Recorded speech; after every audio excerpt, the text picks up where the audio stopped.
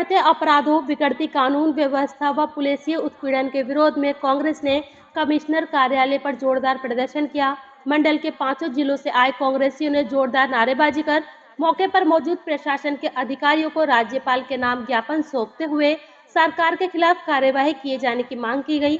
पूर्व घोषित कार्यक्रम के अनुसार बड़ी संख्या में कांग्रेसी कमिश्नर कार्यालय के समक्ष एकत्रित हुए। यहाँ पुलिस ने बैरिकेटिंग लगाकर रास्ता रोक दिया था। बड़ी संख्या में पुलिसकर्मी स्थिति पर निगाहें रखे हुए थे।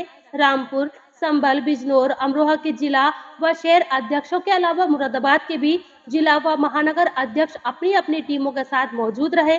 यहाँ से पुलिस की घेराबंदी में कांग्रेसी नारे लगाते हुए कमिश्नर कार्यालय तक पहुँच गए। यहाँ मौजूद उप जिलाधिकारी ने कांग्रेसियों से ज्ञापन प्राप्त किया।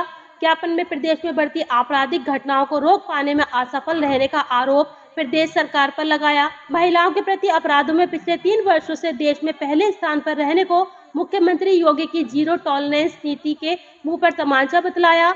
इसमें एनसीआरबी की रिपोर्ट के हवाले से प्रदेश के विभिन्न जनपदों में घटित नाबालिग से दुष्कर्म, लूट, हत्या आदि का विस्तृत विवरण देते हुए सुल्तानपुर में मंगेश यादव एनकाउंटर को फर्जी बताते हुए सरकार की बर्खास्तगी की मांग राज्यपाल से की गई।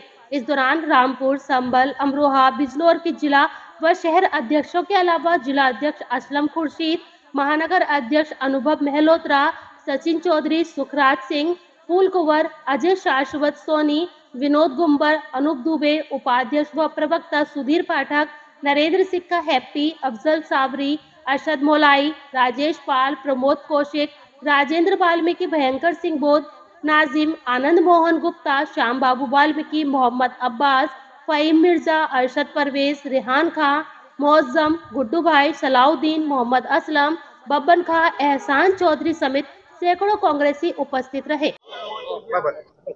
भाई पूरे मंडल लेवल का कितनी क्वांटिटी कांग्रेस है? आज हज़ारों लोग यहाँ मौजूद हैं आप देखेंगे। आप कैमरा घुमा के देखेंगे तो हज़ारों की संख्या में लोग मौजूद है और सुबह दस बजे से लोग आ गए थे और अब कमिश्नर साहब का वेट किया लेकिन कमिश्नर साहब किसी कारण से नहीं आ पाए तो एसडीएम साहब को ज्ञापन सौंपा है पुलिस उत्पीड़न के खिलाफ। जो पूरे प्रोटेस्ट के कर्णधार थे जिन्होंने कल एक प्रेस कॉन्फ्रेंस भी की थी मैं पूर्व सांसद और दानिश अली की बात कर रहा हूँ वो आज प्रोटेस्ट से आपके गायब हैं। क्या मानते हैं उसके बारे में क्या? गए।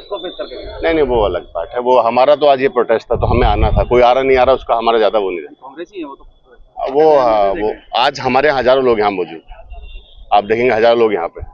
क्या मैसेज गया होगा? आप कांग्रेस एक अच्छे पद पर हैं। क्या नहीं आज हज़ारों लोग यहाँ पे मौजूद हैं। किसी का कोई पर्सनल प्रोग्राम हो सकता किसी का कोई पर्सनल प्रोग्राम हो सकता है उसमें क्या कहें हम